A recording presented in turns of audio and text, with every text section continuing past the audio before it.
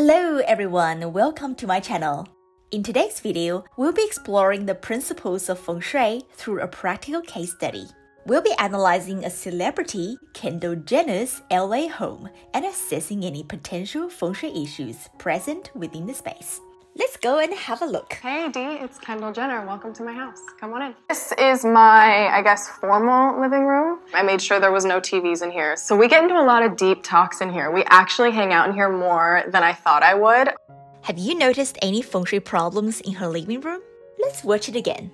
This is my, I guess, formal living room. I made sure there was no TVs in here. So we get into a lot of deep talks in here. We actually hang out in here more than I thought I would. You probably have noticed there are too many arched doorways. Arch designs, doorways, and windows are almost everywhere in her house, including her bedroom. An arch-shaped design have long been a popular design element, evoking a sense of timeless elegance and grandeur. Historically, arch designs have been a hallmark of significant structures such as palaces, churches, mosques, and temples, conveying a sense of power and authority. However, from a feng shui perspective, the use of arched doors and windows in residential settings can present some challenges. This type of designs may create a sense of unexpected pressure or suffocation for those residing in the space. In this example, there are a lot of arched doorways in the living room. This type of design attracts a lot of yin energy, potentially creating an imbalance between yin and yang energies. A space that is overly dominated by yin energy can also negatively impact the health and well-being of those who live or work in the area. The second feng shui issue is the exposed beams. From a design perspective, exposed beams can create a sense of spaciousness and openness in a room.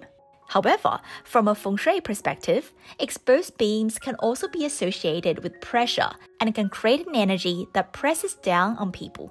In Kendall Jenner's home, we can see exposed beams in both her living room and her bedroom. And the beams are directly above the sitting area and the bed, where the house owner spends a significant amount of time. In the long run, exposure to beams overhead can have detrimental effect on one's overall prosperity, potentially causing headaches and other health problems. The third feng shui problem is the sunken living room. As we can see in this example, the floor of the living room is lower than the adjacent flooring by a few steps.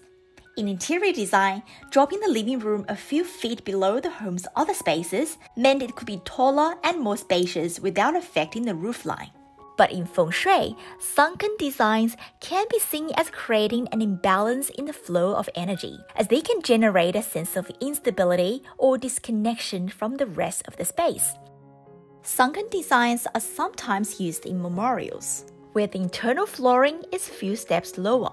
This was specifically designed to create a sense of separation between the outside world and the memorial space, creating a peaceful and contemplative environment. However, in a residential setting, this would add more yin energy into the living room, making yin and yang energy unbalanced. As a result, people's overall fortune and health could be negatively impacted.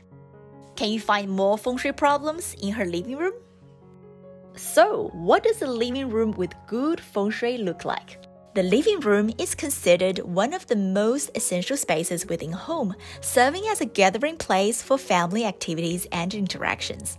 As a result, it's of great importance to ensure that the feng shui of the living room is optimized in order to create a harmonious and welcoming atmosphere. Now, I will share with you top 6 feng shui tips for your living room. Number 1. Direction. The direction of the living room is crucial and the best direction from a feng shui perspective is northwest. Placing the living room in the northwest sector is considered favorable, as this direction is associated with the patriarch of the household.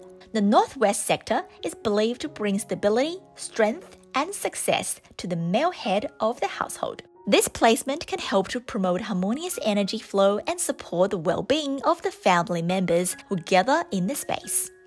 Number two, layout.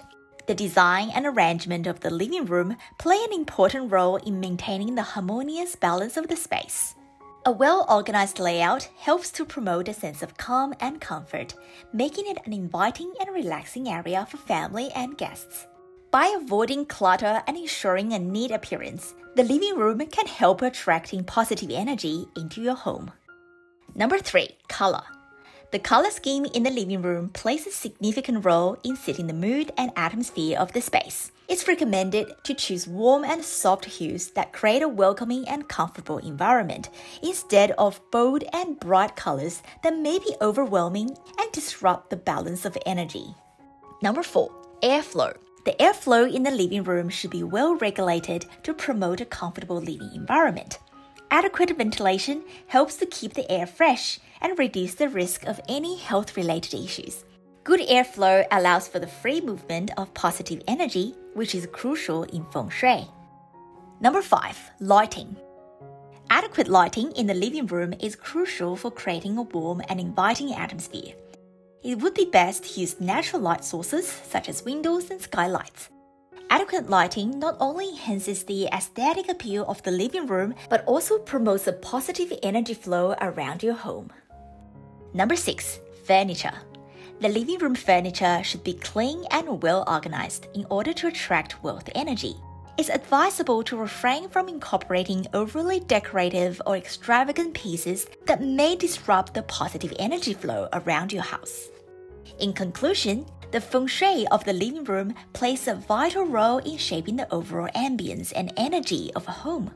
By ensuring that the living room is properly orientated, neatly organized, warm and soft in color, well ventilated, well lit, and furnished with appropriate furniture, it can serve as a hub for family gathering and promoting a welcoming and harmonious home environment.